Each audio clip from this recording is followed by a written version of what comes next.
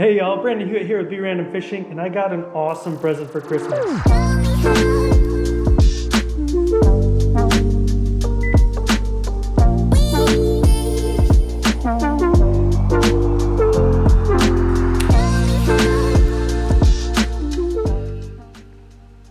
It's the ICD UX570. If you guys remember, I used to have the same Sony voice recorder, but it's the older version. It's the UX560. And I loved this thing. It made for like really good audio on my videos. But they don't really make it anymore, so I had to upgrade to the newer version.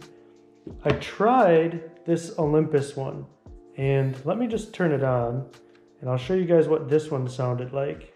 Let me plug in the mic. hit record.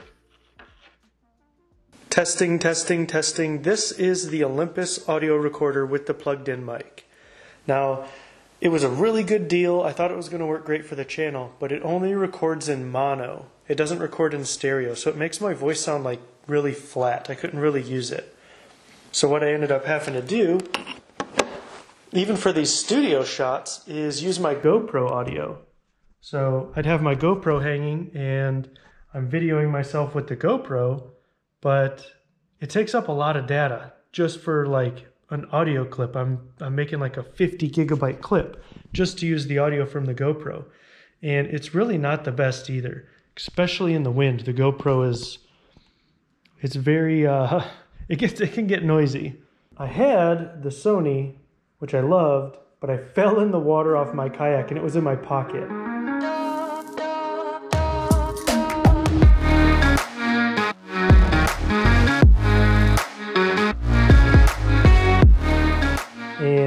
Didn't work after that.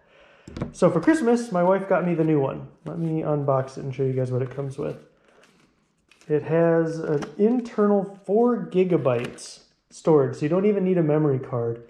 It'll record 159 hours of audio. It, it will take a micro uh, SD card if you need one, but I'll never need one. I never needed one with the old one. I just use the internal. Okay, let's unpackage this. It looks like it's pretty simple. It just has the recorder and a box and some paperwork, and that's it. That's all that was in the box. The controls on the on the voice recorder are pretty simple. They're about the same as the other one. It's got a power button that you slide down to turn it on. And then um, when you plug in the mic for the first time, and you can actually just record like this if you have it setting on the desk. Let's see what that sounds like. Audio Sync Sony Recorder. So this is my GoPro sitting right here, my Sony recorder sitting right here, and the camera is also recording my audio. So we have three different audio inputs, and I want to see which sounds better. And it's real windy outside, so we're going to go out and do that test in a minute, but you can hear the garage. So testing, testing, testing. This is the audio from the Sony recorder. And like I said before, I fell in the water and I ruined my old one. So I have a little trick that'll hopefully keep this one dry. So if I do fall in or it gets splashed, it won't get ruined. Now this is the audio from my Nikon camera and it doesn't have a mic on it or anything, so the audio is pretty bad. And even when I do plug in the audio mic, it's got this like clicking noise and it, it just never worked out very well. It's like very staticky. And then third is the audio from the GoPro, which sounds pretty good in a, in a studio like this. Okay, let's plug in the mic to the Sony recorder. Switch to mic in. And it's still straight up recording. It, it just noticed the mic and it's still recording. What's cool about this too is it has a hold button. You can slide it up and now you can push all the buttons you want to and it won't it won't like pause or change so when you're fishing you put it in hold throw it in your pocket and you know it's going to be recording the entire fishing trip and another thing is it'll record for 159 hours so you can record one huge long audio clip for your entire fishing trip and make sure you get everything so here is the mic and it's got this little this little wind muff on it I love this wind muff. I'll show you guys how well it works later. But I just run it up inside my shirt like so. And then I just clip it like right here. And then while I'm fishing, it just rides right here. I'm fishing and it's recording all of my audio and it usually sounds really good. I can't wait to see the footage just to just to compare like the Nikon camera and the audio from the GoPro and the audio from the Sony with the mic plugged in. And I already know this Olympus is trash, but at least we'll be able to compare that too. So let's take these out into the wind and get some real world testing done. Oh, everybody's got an iPhone. Let's just uh, record myself real quick. Boop, boop, boop, boo. There we go. Now this is the audio from the iPhone and it'll be pretty interesting to hear how it sounds compared to the GoPro and the Sony and the Nikon. Sorry, my camera is over there. I'm trying to look at the lens and not myself. it's kind of tricky. But anyways, this is the audio from, it's uh, iPhone 11 Pro. Yep, iPhone 11 Pro.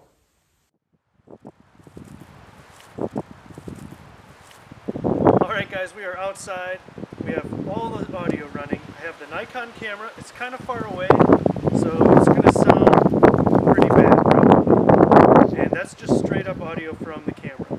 Now, this is the audio from my iPhone 11 Pro.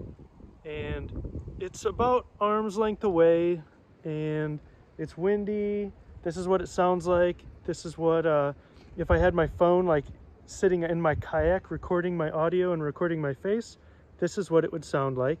It probably sounds pretty good, but I'm guessing you can hear some of the wind noise.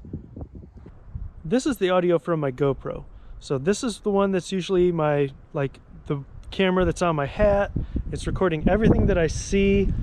It's, uh, I have lots of experience recording from the GoPro and the audio is actually pretty good, but you can definitely hear wind noise. And you can see the trees blowing kind of, kind of crazy. It's a little windy out here.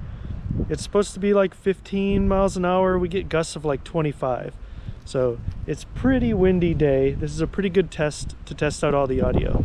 Here on my chest, you can see I have my mic and that one's plugged into the Sony audio recorder and it should be like beautiful audio. No sound noise whatsoever from the wind. Um, ooh, here comes a good gust. Ooh, that that's a good gust of wind right there. I'm gonna probably play that one back on all three cameras.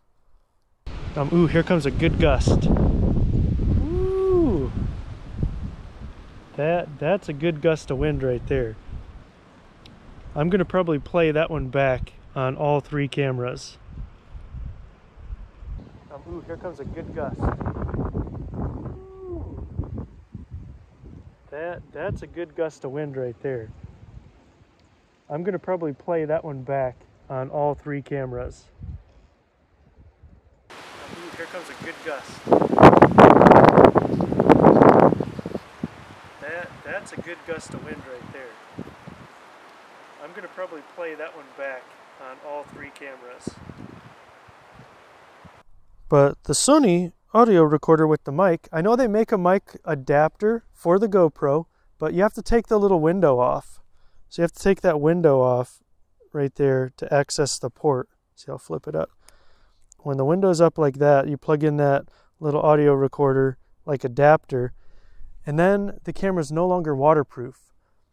So it makes it, uh, if you fall in, you just ruined a $400 GoPro. I'd much rather ruin a $60 Sony audio recorder than a $400 GoPro. But it is another option for using like a mic with the GoPro. And they make adapters too for the iPhones where you can plug in the microphone into the charging port for the iPhone. But honestly, for me, the easiest thing that I've come up with is the audio recorder. And I really love the audio recorder and how smooth and clean the audio comes out of it. Most of my videos this year are going to be using the audio recorder, so no more wind noise. I know that's going to make y'all happy. It makes me happy.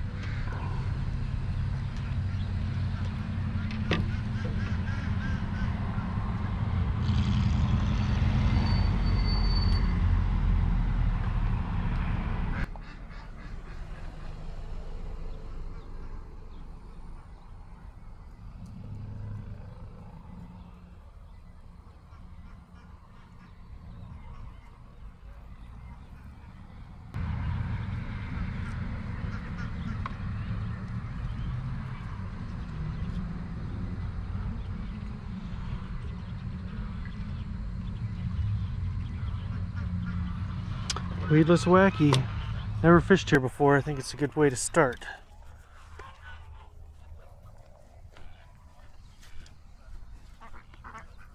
Lots of ducks.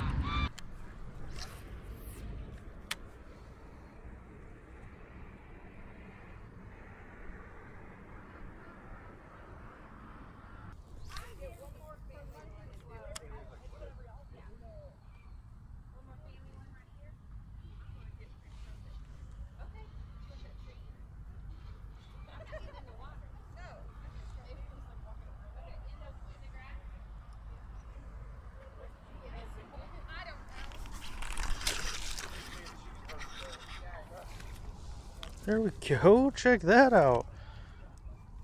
There are bass in here. He's not a very big one, but I got him. Oop. We are not skunked. He was right there by that tree.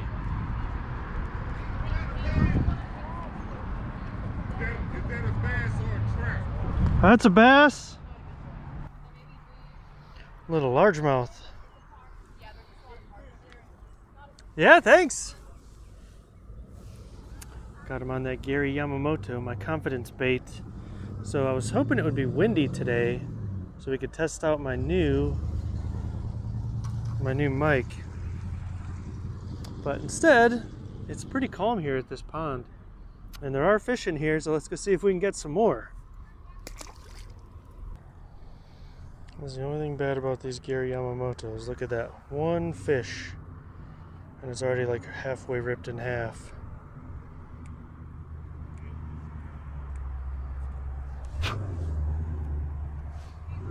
But it still looks good.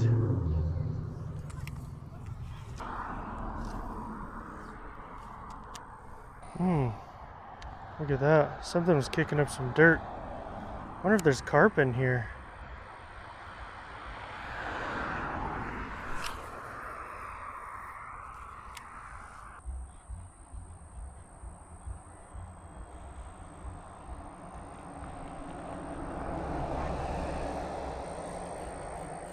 Well, he's got himself a fish.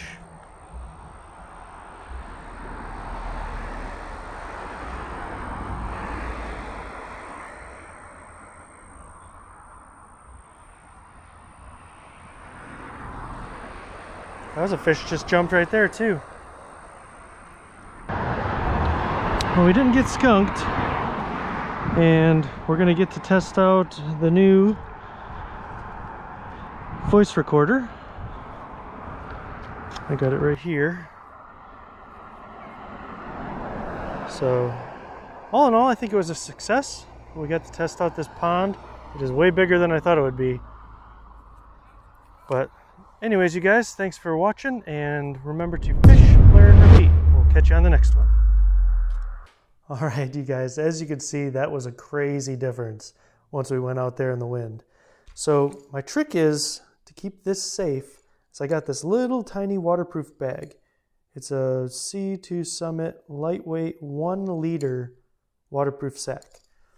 So I tested it with my old one to see if it was 100% waterproof and it's not. So what I did is I put the old one in this bag and I let it set for 20 minutes in a glass of water and it got soaked. But I also did the same test with the old one and I just dunked it in the water counted to five seconds and pulled it out and it stayed dry. So it is going to protect from splashes and it's going to protect from like a quick dip, like if I fall in. So what I do, I put it in the bag, make sure that the mic is still plugged in, And then I just roll it up like like a normal like I normally would on a waterproof bag. So you roll it up and then make sure that wire's not in the clip and then clip it. Once it's clipped, that's where the water would seep in. So the water seeps in through the cable and it wraps around and then it goes and it get it does get wet. But now I can splash it with water. It can be in my pocket. I can get splashed. I can fall in real quick and get out. As long as I take it out and make sure it's dry, I should be good. So this is going to save me I don't know how much this thing cost. I'll put the cost here. I know it was a present. That's why I don't know how much it costs, but and this should save me from losing another one because it was heartbreaking. Oh, there was one other thing I wanted to show you guys on this audio recorder. Let me get it out of my pocket. So the Sony audio recorder has an internal battery and it's got this little USB flip port here. You just push it, boop, and the USB pops out. You see that? And when the USB is popped out like that, you just plug it into any USB and it charges the battery. And it lasts a long time.